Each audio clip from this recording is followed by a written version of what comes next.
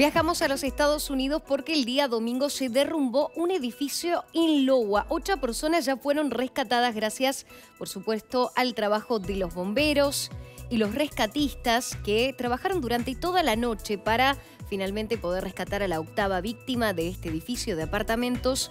que se derrumbó. El alcalde de la ciudad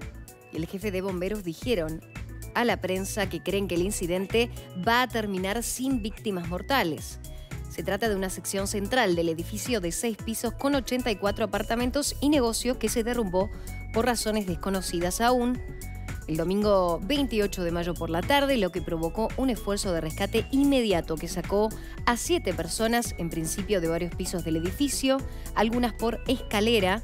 de un camión de bomberos. Vemos las imágenes de esta sección del edificio que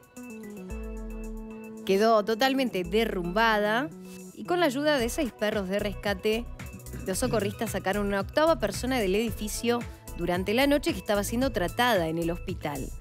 Las cuatro esquinas de este edificio permanecieron en pie, pero una sección del edificio de un par de apartamentos de ancho se derrumbó por un lado, dejando vías de soporte colgando de los pisos superiores y una pila de escombros debajo, tal como vemos en estas imágenes.